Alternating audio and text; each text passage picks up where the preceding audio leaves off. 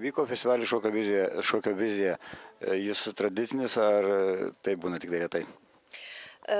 Šokių festivalis šokio vizija vyksta kiekvienais metais. Ir į šokio viziją atvyksta daug įvairių šokių festi dalyvių.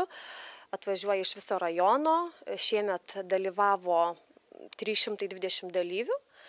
Ir buvo netgi dešimt vadovų kaip organizatorė nuo pat pradžių organizuojate šį festivalį matote kaip jisai vystosi keičiasi šokiai kokie ar šokių stiliai yra įvairūs šokami šokių kolektyvai ir vadovai labai stengiasi matosi ir ir kokybė gerėja ir šokėjų šypsenų vis daugiau atsiranda.